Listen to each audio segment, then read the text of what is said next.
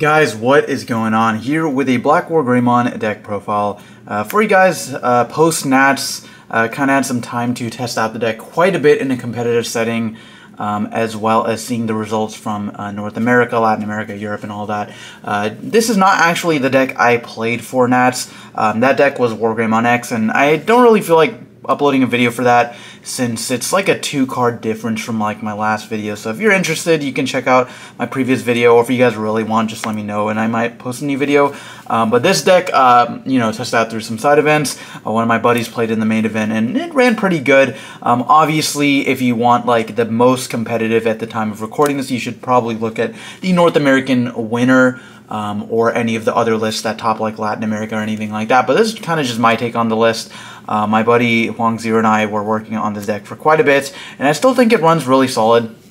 Um, so anyways, let's just go ahead and get into it, talk about some of the choices. Of course, the egg is just going to be uh, four copies of the BT9 Koromon. Plus 1k is really, really important in the mirror, and this deck cycles enough to where I don't think you really miss the um, draw from the draw Koromon.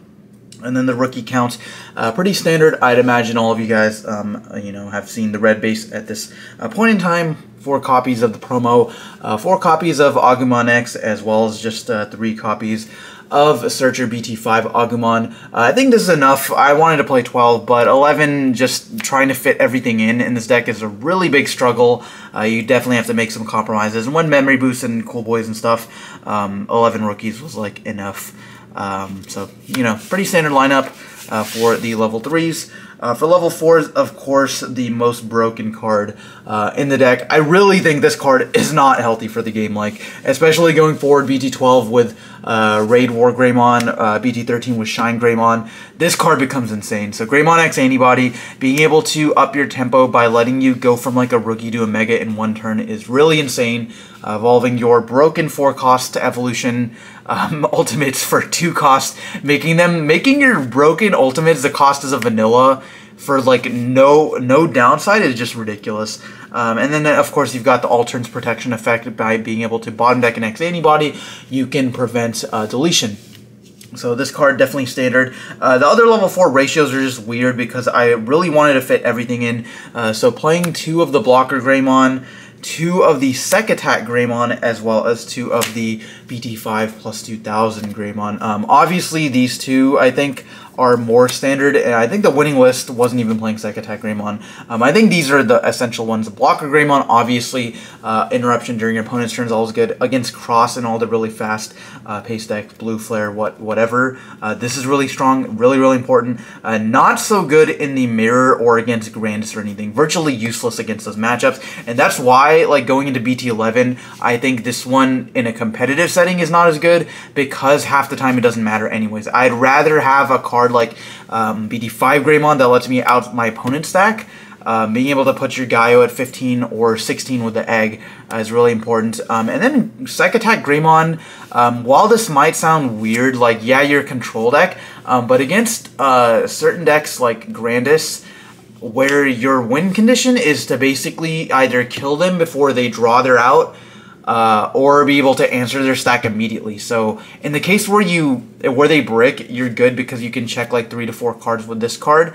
Um, but then in the case where you have to answer their stack, you need to kill them like the next turn. So if, if you like promote your Gaiamon or Black or whatever, they have granted Sunfield, they checked all your security. You need to be able to like kill their stack and simultaneously do damage, and that's why this card is really good. So against that, that um, you know, Grandis and a lot of the other rogue stuff, I thought the Sec Attack Greymon was really important. It also works really well with the promo Greymon. Uh, Black War Greymon, which I think is really, really broken. I think basically every list should play that card. Uh, anyways, for level 5s, I'm going to be playing four copies of Metal Greymon Standard. This one's really broken. Being able to devolve out a lot of things. Uh, killing a rookie is also really good. And then attacking unsuspended Digimon is just so oppressive. Like, being able to do this in tandem with Gaiamon, being able to blitz into an unsuspended stack is just really unfair. Uh, and it's pretty much, it's probably the best thing about the deck. Uh, in addition to that, uh, if as if it can get more broken, playing three copies of the Metal Greymon X Antibody, not only do we get more protection with the Devolve protection, DP minus protection, uh, we also get to pop something with level uh, 6000 DP or lower, and on top of that, it lets you trash a security card whenever one of your Digimon is suspended. So if you've got Gaiamon or Black or Greymon X, you just get rid of a security card for free, essentially letting Gaiamon do 3 damage in one turn, and then you already have lethal for the next turn because you have, if you have like the Gaiamon plus like any other rookie or plus an Omni or something, uh, that's that's already game. Uh, so this card just really broken. Um, Lotto is playing 4, I think 3 is enough, and then uh, 1 Alterous mode. I still think Alterous mode's really, really good. Not even just for the evolve effect, but mainly for the protection effect. Being able to protect multiple times, where um, Greymon X only lets you protect once. Um, so essentially, they have to out your stack like three to four times, which is like never happening. Uh, so against a lot of decks, War Greymon X, uh, Mirror Match, uh, Bloom Lord, this is really, really essential. Uh, so that's going to do it for the level 5s. Uh, and then for the level six sixes, again, this lineup is really weird, and there's a lot of one ofs. Uh, just because this deck cycles a lot. So, uh, one copy of BT8 Black War Greymon. Uh, the winning list from North America was actually not even playing it, this the card, and I actually agree. Uh, and against a lot of decks, this card actually isn't really even that good. You can evolve into it with X Antibodies, so playing it for 4, or evolving it for 4, and passing turn. Uh, the Pops and Tamers is good against certain decks, uh, memory choking Melga, getting rid of Cool Boys and Ties for uh, War Greymon X. Uh, does effectively nothing against Grandis. Um, uh, memory choking them, uh, you know, you can do that, uh, but a lot of times they'll have the um, Okuwamon plus Okuwamon X to gain back the memory anyways. so that doesn't really do anything. Against the mirror, it's virtually useless.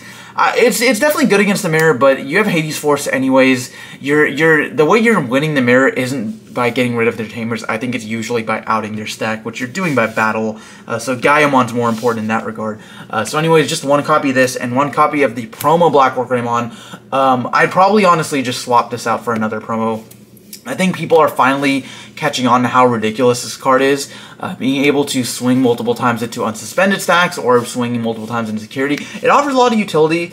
Um, being able to use this with the Attack Greymon actually offers you no TK, and there were a couple of lists I actually played against. Um, one also that topped the Japan Nats, Nats I think, um, that was actually just like turbo Black War Greymon promo OTK. Like it didn't even play any of the control cards. It just your stack was this, and you swung check two to unsuspend, swung check two unsuspend, and then you would you would like game them. So um, again, I think one's okay, but you I'd probably play two of this going forward. Uh, this is also really good against Examon. Um, a lot of people weren't expecting Examon, but it's a really sleeper deck, I think, and really solid in a Black or Gray. Um, having Metal Gray to devolve an Exa, and then once they suspend your guy with a Slayerdramon, like combo where they force you to attack. So like if you've got like a rookie to eat the hit, and then like you move out your guy, this this swings, dies, this gets suspended. You can like devolve them, or you can just like evolve this guy and attach two to unsuspend to attack into their guy, uh, to their Examon or Slayer or whatever. So it's actually really good uh, for a lot of the rogue matchups. Um, so so yeah, just overall a lot of utility. Uh, other cards. Uh, two copies of Black War Greymon X. I think that's enough. Uh, really, really broken in Amelga um, and a lot of other decks. Popping stuff during your opponent's turns really good. Uh, redirecting against Crossheart really important. I think two is enough though. You see it quite often. Uh, and then three copies of Gaiamon. I think Gaiamon's probably the best card uh, in the deck. Probably the best level 6 to include. Just the, giving it four keywords is just ridiculous. Like being able to blitz, devolve something, check to, reboot, trash the security, have blocker, protection, whatever.